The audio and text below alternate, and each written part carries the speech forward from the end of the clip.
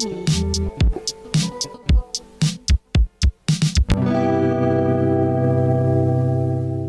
Hey, what's up, Wolfpack? Today is January 22nd, and I'm Giovanna Menes. And I'm Ken Passion, and we're here with your distance learning announcements. It's Friday once again, so let's see what we have for Pop with Kaylee. What's poppin' Wolfpack? I'm Paul Spulo, and this is Pop, where we pop in and show you posts of the pack. Even though we're all stuck at home, remember to use our hashtag CHSWPTV for a chance to be in our show next week. Now let's check out our Wolf of the Week, Madeline Steele. My name is Madeline Steele, and I am your Wolf of the Week.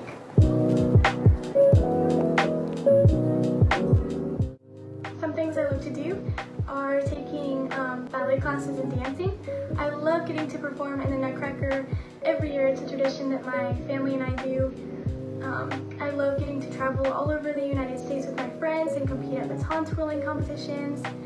I, um, I love creating artwork and drawing, especially digitally on Photoshop, and I love getting to go to youth group with my friends. My favorite memory from CO is getting to twirl with the marching band at the football games last year. I had so much fun getting to go on the field and represent our school and our football team. Everyone was so supportive, the crowd, uh, my friends, the band directors, the cheerleaders, was cheering us on and it was just so much fun.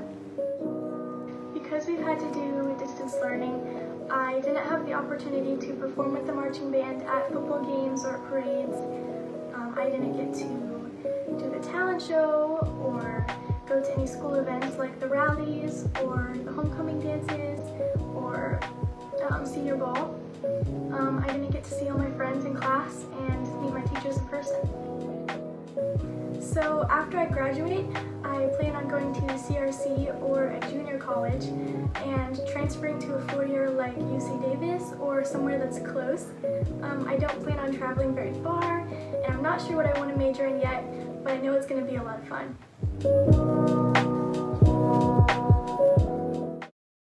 Thank you, Madeline. Good luck with the rest of the year. Well, that's all I have for you today, Wolfpack. I'm Paula Cebulo. Back to the anchors. Thanks, Kaylee. Now we have sports with John. What's up, Wolfpack? I'm John Sheehan, back at it again with your weekly sports update. Don't got a ton for you this week, but let's jump right into it. NBC Sports Network is shutting down at the end of the year. What does this mean for NHL? Nobody knows yet. CIF, the California Interscholastic Federation, states that athletes in some sports may have to wear masks during competition and some may not. Will this increase the count of COVID cases? Is the very big question. Hank Aaron, the baseball home run king and all time legend, died today at 86 years old. He was one of the greatest baseball players to ever play, and he was one of the few superstars that also played in the Negro Leagues. UFC releases Ottman Azaitar day before UFC 257 for sneaking people into Fight Island. Dana White, president of the UFC, pulled Azaitar from the fight and removed him from the UFC roster for good. Lastly, Joe Biden's executive order may have just ended girls' sports forever. Biden's executive order on preventing and combating discrimination on the basis of gender identity or sexual orientation begins by stating that, quote, all persons should receive equal treatment under the law no matter their gender identity or sexual orientation. End quote. That's all I have for you today, Wolfpack. I'm John Sheehan, and this has been your weekly sports update.